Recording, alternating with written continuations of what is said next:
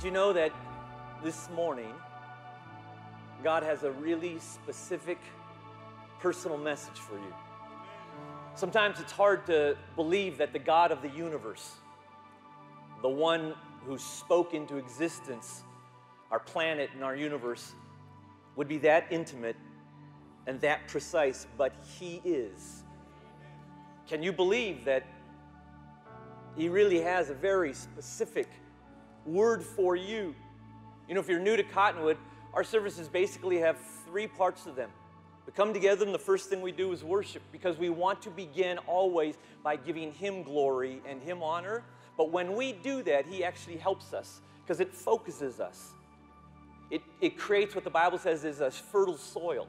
And then we open up the Word, we study the Bible, but it's not about just learning a life principle, it's a divine revelation of a powerful God who intimately wants to say something to you. And then we close by having a time of response where we respond to what He said. We've done our worship, now we're going to open up the Word. And after we do that, we're going to let Him minister to us and meet us wherever we're at. But you have to believe.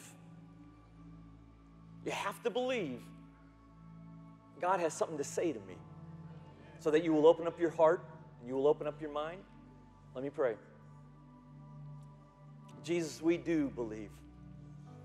We know that you have something to say to us. We are here, we're listening, and we are incredibly grateful that the God of the universe chooses and desires to be personally and intimately connected with each of us. We love you and we thank you. We pray this in Christ's name. Amen. Amen. You may be seated.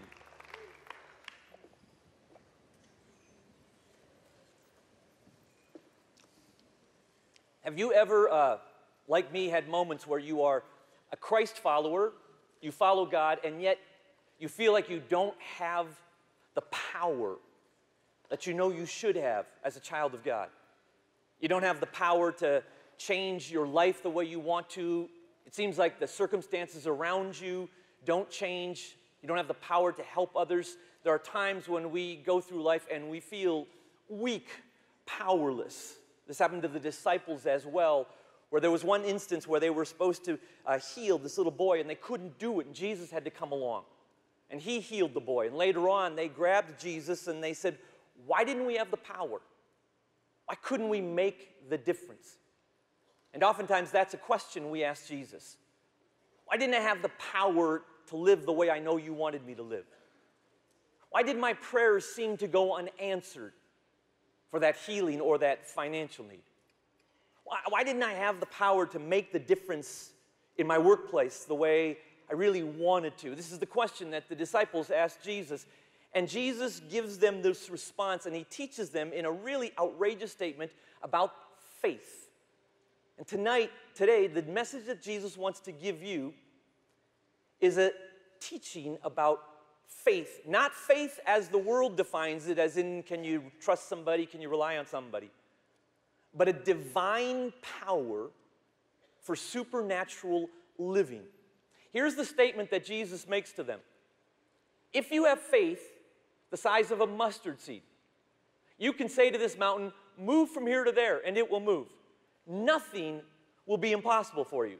Now, let's be honest, that's kind of an outrageous statement, isn't it? I mean, I can understand some of you going, Are you sure? If you have faith the size of a mustard seed, you can say to this mountain, Move from here to there, and it will move. Nothing will be impossible to you. Jesus wants to get in our face with this. He does not want to be subtle about it. And we thought, in order for you to really understand the power of this statement to them and to us, you'd really need to kind of have one in your hand. So the ushers are going to come, and they're going to give every one of you a mustard seed for you to hold, all right? There's going to be a little dish that's, go ahead and start, guys. It's going to come alongside and give you a mustard seed. Now, here's the deal they're really small, so don't drop it. Because if you drop it, you will not find it. But he doesn't say you need lots of mustard seed, just one. So don't take two and put one in your back pocket for later. Don't steal in church. Not a good thing. But I want you to see even how awkward it is just to get a hold of one of these things. In another passage in the Gospels, Jesus would say, This is the smallest thing that we plant with, this mustard seed. And as it comes along, go ahead and grab it out of that uh, container. And in this statement, what we're going to discover is Jesus gives two very important principles on faith. When you know these principles, it really positions you to see what it means to live in faith and see his power. And then what he does is he says, here's the two principles on faith. Here are three areas of life where you need to apply your faith. And the three areas of life are a current crisis, a future dream, and Jesus fully in me. Many of us in here are in a current crisis. Right now, there is an issue going on in our lives, and it seems like a big mountain, insurmountable.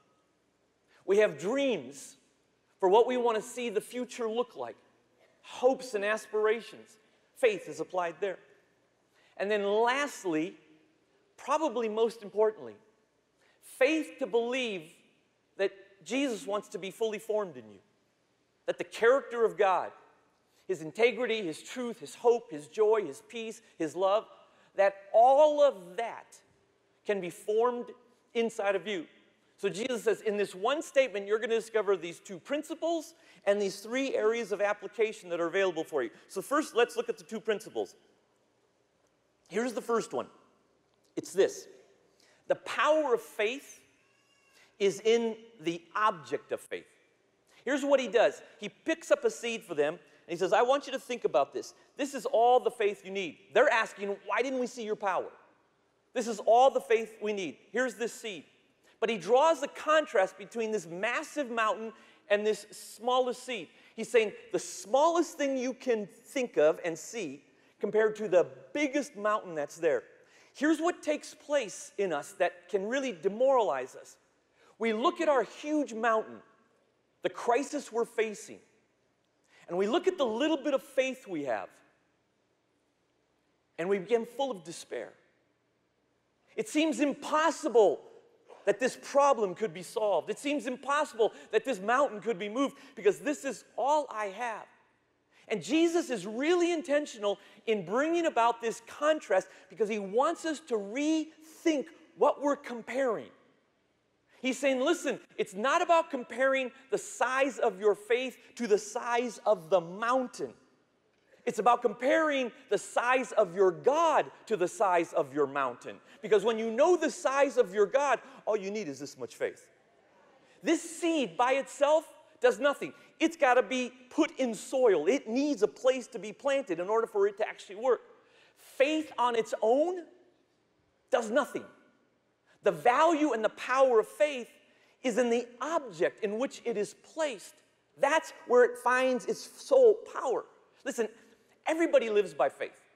Don't ever let anybody tell you, no, no, no, I don't live by faith. You come to an intersection, when your light turns green, you are trusting the people who have the red light that they will not drive through it. You are living by faith. When you walked in here this morning, you sat in that chair. You're living by faith. You are trusting that that chair will hold you. Now, maybe you have good reasons to trust that chair because you've sat in the same chair for the last 20 years and it's always worked for you, or because you trust Cottonwood as an organization, but you're living by faith. Now, picture this two guys are standing on the edge of a frozen lake and in the middle of the lake is a great reward, but the lake is frozen. They've got to step out onto it. I know for some of you Southern Californians, frozen lake is hard to imagine. Bear with me. But there's this frozen lake, right? One of the guys is nervous. He's kind of full of fear. He doubts whether or not that ice is going to hold them. We're going to fall through. There's a lot of anxiety in him. The other guy is enthusiastic. He can't wait to get out on the ice. He knows for sure that that ice is going to hold him. He wants to get to the prize. What determines whether or not they fall through or don't fall through? The quality of the ice. Not the guy who's nervous versus the guy who's excited. It is the ice, and if it's thick enough or thin enough. Now, they may or may not get on the ice based upon where they're at in their trust. How they journey to the prize may be different. One may be full of joy, the other may be full of anxiety. But it is the ice that determines whether or not they're going to be safe. This is what Jesus is teaching. He's saying, listen, you've got this big mountain. You only need a mustard seed of faith. Why? Because of the character and the immensity and the quality of who God is. And it's not just his power. Think of his power, the creator of the universe with his words, compared to your problem. But it's not just his power, more essentially, it's his character. Because you can have a powerful force, but if that power is not trustworthy, it's no good. It is in the character of God that we discover wow, I only need a mustard seed because of who he is. That's why Psalms 27 13 says this. You'll see it on the screens. I would despair. This is David talking. When I look at my mountain, I would despair, except I believed that I would see the goodness of the Lord in the land of the living. Whatever your mountain is, there is a character of who God is that is so much greater than that mountain. If you are here and you're facing some kind of an illness, there is a healer who created health. If you are here and you're facing a financial crisis, there is a provider who owns everything, as we discovered. If you are here and you're in a situation where you really feel alone, there is a God who chooses to be a father so that you'll never be alone.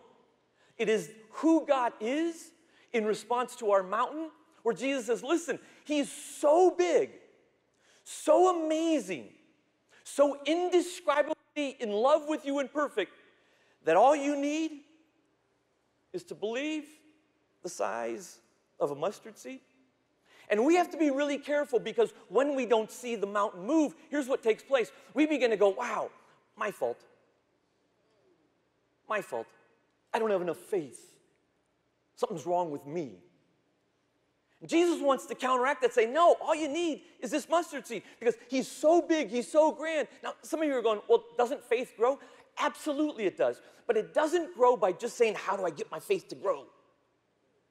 It grows by discovering more of Jesus. Because when you discover Jesus, you discover the character of God. 32 years ago, when I married my wife, I trusted her. But over 32 years, I experienced her faithfulness and her love and her integrity. I trust her so much more now. My faith in her has grown so much more because I've gotten to know her. And Jesus says, Listen, here's how this works faith and the power of God is released when you discover that the power of your faith is rooted in who God is. That's what makes it happen.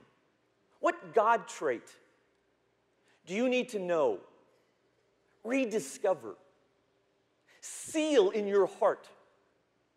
Because when you know that God trait, it's all it needs. It's so much greater than any mountain, any crisis, any issue that I may be facing. First principle the power of faith is found in the object of faith. Here's the second principle, and that is that the power of faith is in the act of faith. Every seed, take out your seed, you still got it, you haven't dropped it yet, you still have it in your hands? It's hard. Every seed has to be planted. We know that a seed needs soil, but somebody's got to take the seed and actually take a trowel and put it in the soil in order for it to be planted. There's got to be an action. And Jesus is really clear when he talks to these disciples. And he says, Listen, you got to speak to the mountain. There is a role that you play to see faith work and God's power released. Now, fortunately, he doesn't look at the disciples and says, You got to move the mountain. He says, No, all you have to do is speak to the mountain. And he brings out this other principle. Here's the mustard seed. Look at it again. It applies to your action. Here's what he's saying Do you have enough faith just to start? Here's what takes place we see our mountain, and it seems insurmountable I can't get to the top of that mountain. I can't see that thing moved. And we're paralyzed.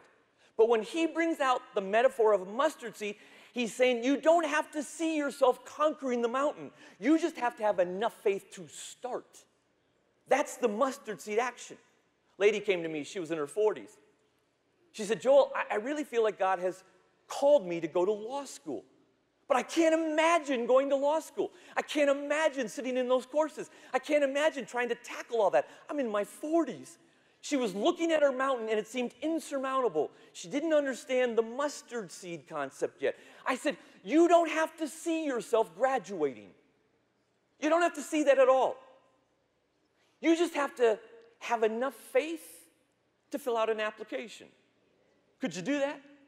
Could you believe enough that you could just fill out an application? And she said, Yeah, I could believe enough that I'll fill out an application. So she filled out an application. Two months later, she comes back to me. I got accepted. They actually are allowing me to come to school. But Joel, I feel horrible because I know God's asked me to do this, but it's too much. I can't wrap my brain around this whole three year endeavor. It's just way too much. I said, You don't have to go. Don't worry about that. Do you have enough faith just to register for classes? just to register and buy some books. You're not making a commitment. Yeah, I have enough faith. I could register for classes. I'll even buy the books. I have enough faith to do that. So she registered for classes. You know where this story's going, right? Five years later, she's an amazing lawyer, fighting for injustice, graduated. She didn't start there. And this mustard seed principle becomes very important to us when it comes to the act of faith, because oftentimes we feel like our action can only take place when we see the top of the mountain. No. Do you have enough simply to start?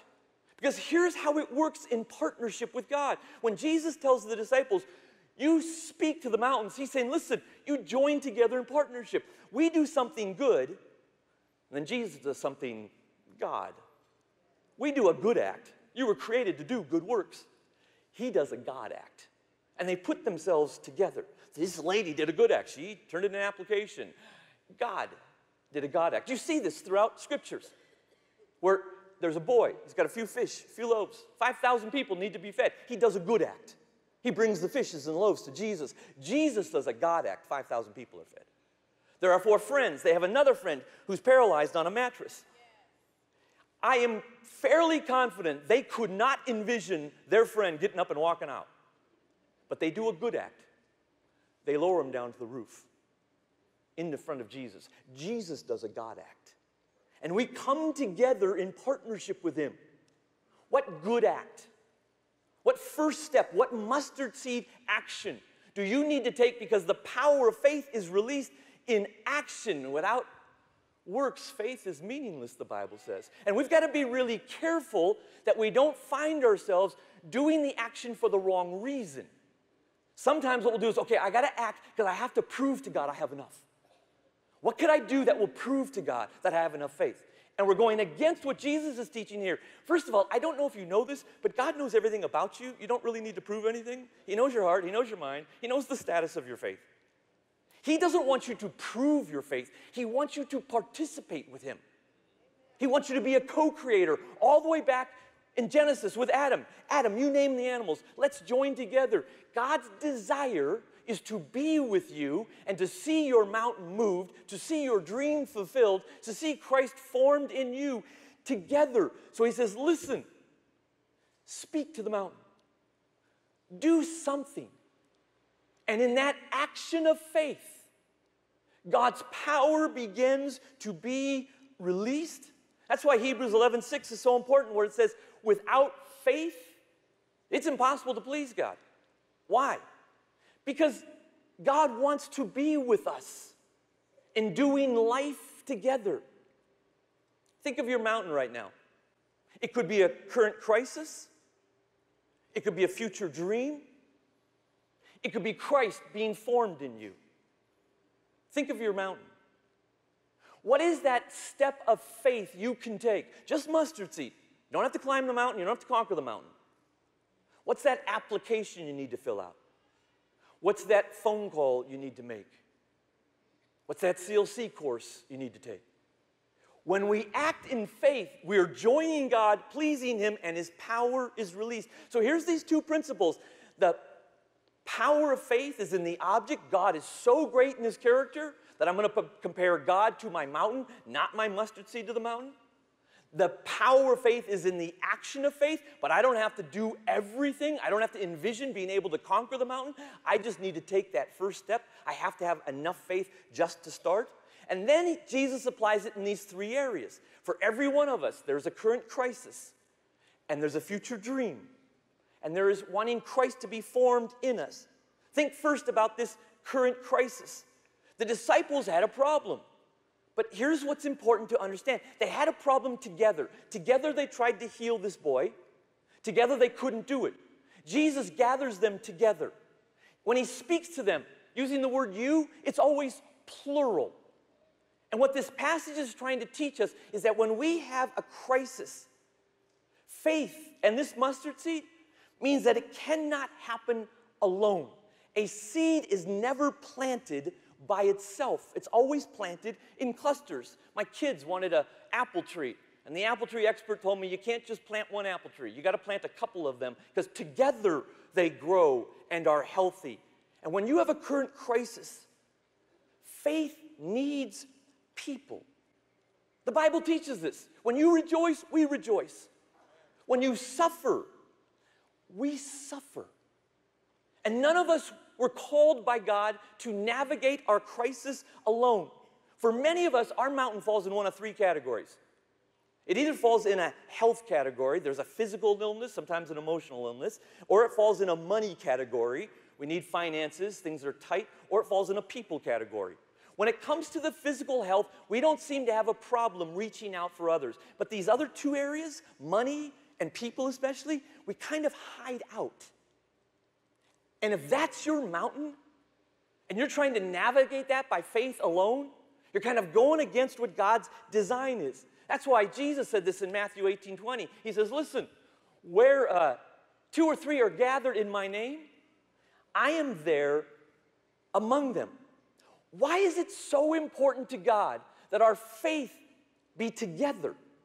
Why does He almost require as a mandate, you want to see my power? You got to do this together because it's who He is the Father, the Son, the Spirit. They trust each other. Trust is inherent in the character of God. So the Father trusted that the Son would go to the cross. The Son trusted in the leadership of the Holy Spirit while he walked this earth. Inherent in God is trust. So he says, I need to see that down here. Faith, by its very nature, reflects God, is community. And when you try to navigate faith for a crisis alone, you're stepping out of God's design. Best example of this is Jesus. The religious leaders come to Jesus and they say, Why do you do what you do? And here's how he answered them I only say what the Father tells me to say. I only do what the Father tells me to do. He says, Even as the Son of God, I'm going to trust somebody in the Godhead to work with me and guide me. It's who He is. When you are in a crisis, if you're relying on your individual ability to navigate that crisis, you're putting yourself in a really dangerous position. Because when you're in a crisis, there's all stuff, all kinds of stuff going on. Emotionally, your soul is all over the place. It's hard to see clearly at times. And you've got to make faith choices. But if you try to do that alone in the middle of this whirlwind of intensity, it's very easy to sled. I learned to swim when I was a little older. I was six years old. And uh, imagine I'm standing on the edge of the pool, and my dad's there, and he's wanting to teach me to swim. So he's in the pool, and he's got his arms up, and he's saying, Joel, jump into my arms, jump into my arms. And I'm a little nervous, I'm a little fearful, and I got to decide do I jump into his arms? Next to my dad is my brother, who's two years older and a head taller, and he is Satan incarnate. And he stands, he's sitting, standing right next to my dad, and he's got his arms up in the air. And with that evil smirk on his face, he's going, Jump into my arms, Joel, jump into my arms, I'll catch you. Now I got to decide. The Bible says that the enemy comes as an angel of light. and he goes, Jump into my arms, Joel, jump into my arms. And when I'm in a crisis and I can't think clearly, and I'm in an emotional whirlwind, if I try to figure it out alone, I may make the wrong act of faith. Next to me was my sister, who is five years older than me, and she is an angel.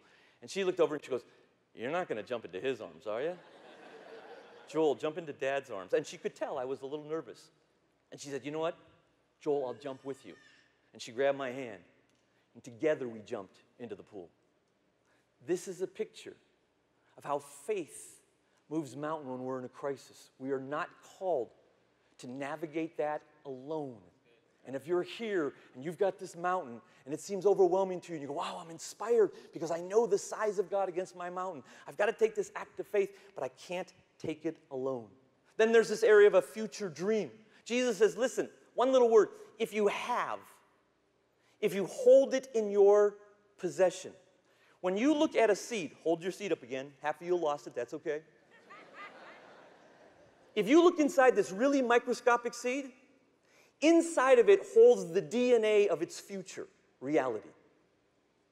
This little seed planted grows, becomes a huge mustard tree.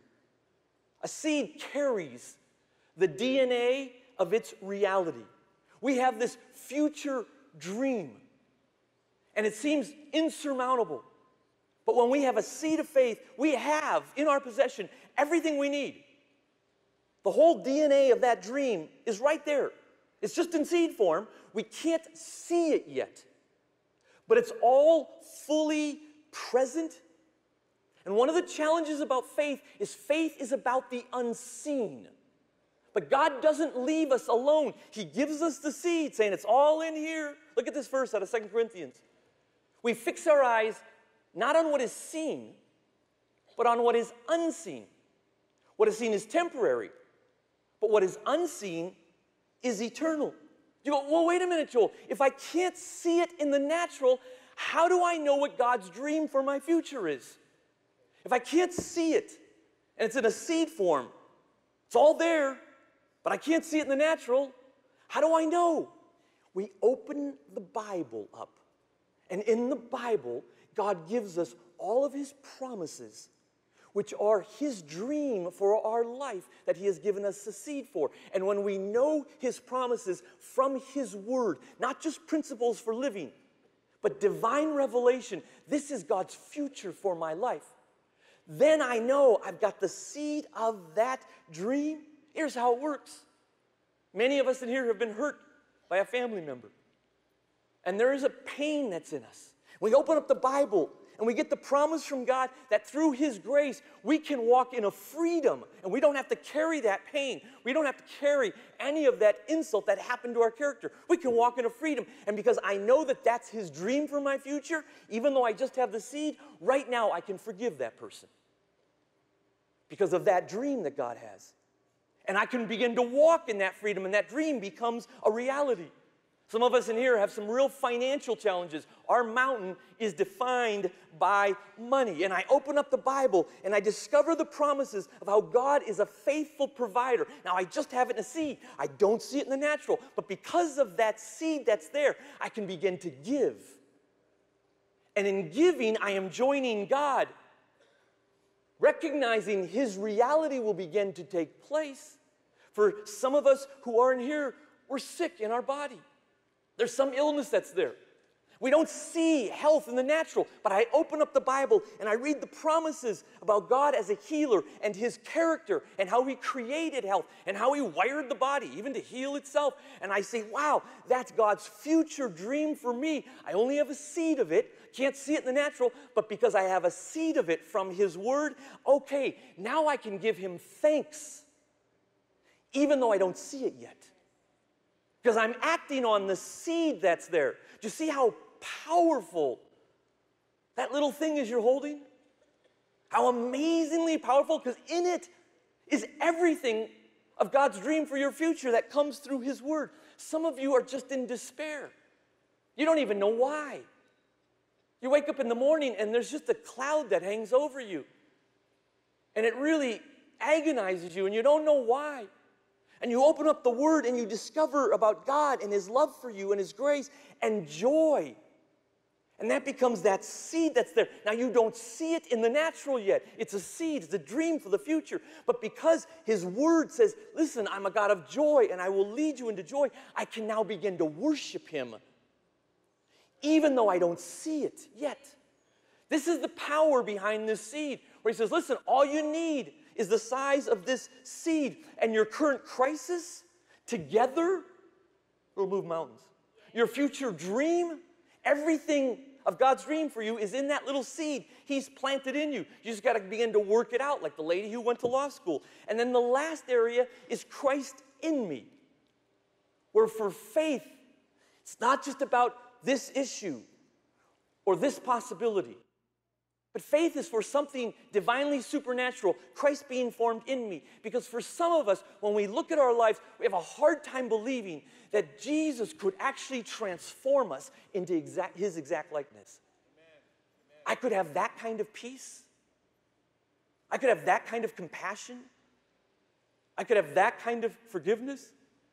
And this last word that he gives at the bottom, nothing will be impossible for you. When Jesus said that in the New Testament, it's always related to him talking about somebody being saved and made whole and complete. Because when you take the seed and you plant it and it grows into fruition, it's complete.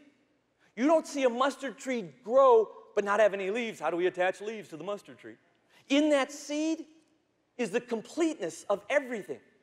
So in you is the potential completeness of Christ being fully formed in you, faith. Nothing will be impossible. It's for everything. It's limitless. But understand its limit not just by size.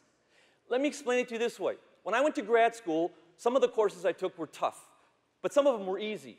So I go to one course, and it's a really easy course. I knew I could ace this course knew the content, knew the teacher was a pretty easy teacher. No problem, I can ace it. Because it was easy, I did not invite God in faith to be a part of that course. Because for me back then, faith was defined by mountains that I could not climb. And when faith is only defined by what you cannot do, you will only invite God into certain aspects of your life, not into every aspect of your life. Because if you can do it, don't need God. So I'm in this grad course. I finished it, I got the A. But when I began to learn about faith and the limitlessness of faith, and how God wants to be involved in every aspect of my life, forming Christ in me, I began to wonder, looking back at that course, what did I miss out on? What truth could I have gleaned and discovered more than just what was needed to pass the course? What opportunity with fellow students did I miss out on? Because I didn't go into that course going, God, I am trusting you with this course. God wants us to trust Him not just in the things we can't do, He wants us to trust us in the things that are very easy for us to do. He wants faith to be limitless.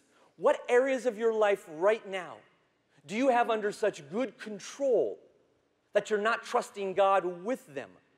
And then it limits what He can do. Because remember Ephesians 3:20?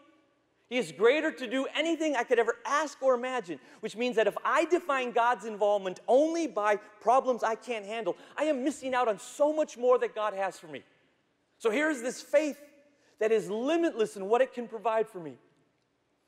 Two principles. Your faith, you only need it the size of a mustard seed because He is so great, not just in power, but in character.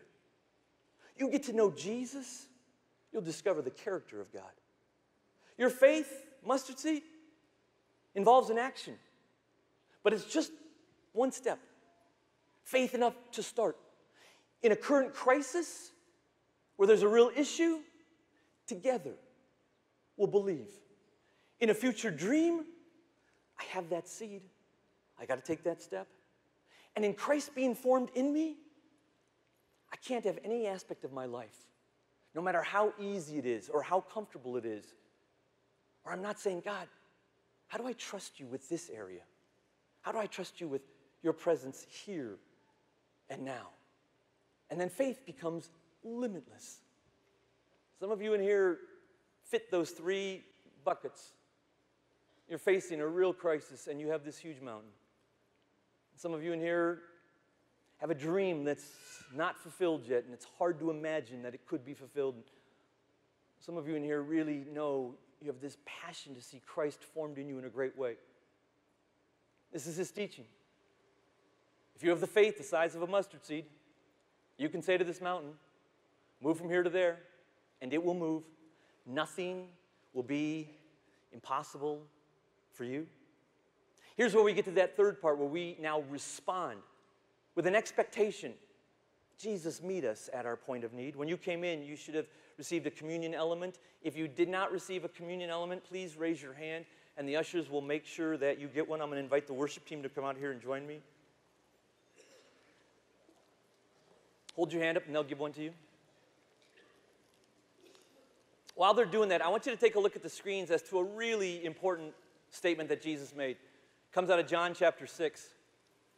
He gets asked this question by his followers What are the works of God we should do? What, what should we be doing? What should we be active about? And here's how he answered the work, of, the work God wants from you is to believe in the one he has sent. This is really all that God wants from you faith. Will you believe in the one he has sent? And Jesus set it up to help us be able to do that through communion. Started all the way back when he walked this earth. He took the bread and he broke it and said, This is my body. He took the cup, poured it out, and said, This is my blood. He said, Listen, if there's ever a time when you're going to doubt my love for you, if there's ever a time when you're going to doubt where you stand before me, remember this. If you're here this morning and you question where you stand with God, whether or not He loves you, whether He smiles on you, you remember His cross, there will be no doubt whatsoever. But we don't take it as a religious ritual, we take it as an act of faith, something very intimate, something very personal and dear. Sometimes I get asked by people, Joel, I, I don't know I don't even know if I'm a Christian. What does that mean? What does that look like? And I said, Really, if you can say these three things, if you can make these three statements, you're good. The first statement is, I'm sorry. You recognize there is a God who is the creator of the universe, this God of love, this God of peace, but you have chosen to be your own God, and you say, I'm sorry. I'm sorry, God. Second statement is, I'm ready. I don't want to run my life anymore. I am ready for your lordship, your beauty, your grace, your love. I'm ready for an eternity with you. I'm ready. But the third statement you make is this I believe. Not I understand. None of us understand all of this. But somewhere in my heart, I can, yeah, I can believe that God is real and He is love and He sent His Son to die for me and resurrect because He loves me so much and wants to be with me. I can believe. I don't even know how, but I do. I believe in my heart. If you can say, I'm sorry, I'm ready, I believe. That's all God is really asking. And then we take communion with that seed of faith. As we take communion this morning, I'm going to ask you to stand to your feet with me. And I'm going to say a prayer over all of us before we take communion. Because there may be some of you here this morning, and it's your first time into church, and you want to say those three statements I'm sorry, I'm ready, I believe. Maybe some of you have been away for a long time, and you need to just kind of re clarify with God. Would you bow your heads with me? Jesus, we are at a loss of words to give you thanks that you would come to this earth and take our evilness on you suffer and die so that we could be free, that you would resurrect, that we could have life eternal with you, with God. I thank you for each person you have brought into this auditorium. And Lord, collectively, we make those three statements. We are sorry that we have not acknowledged you as our God, our Creator. And we are ready. We are ready for a life full of peace and joy and love and your power. And Lord, we do believe. I thank you for this teaching you gave. That your expectation is simply a mustard seed size. That that's enough faith. Trusting you that the mountains in our life must move. So, Lord, we take communion as you instructed. Reflecting on the work that you did. May there be no despair or doubt because of the cross of Christ. May anybody in here who questions their eternity or your love during this moment of communion, Holy Spirit, would you instill in them an assurance because of the cross of Christ? May we be so fully aware of mountains moving because of the cross of Christ. Go ahead and peel that top layer off, and it reveals the wafer representing the body of Christ, and take that. And then peel the second layer off, and it opens it up for the juice representing the blood of Christ. Go ahead and drink that.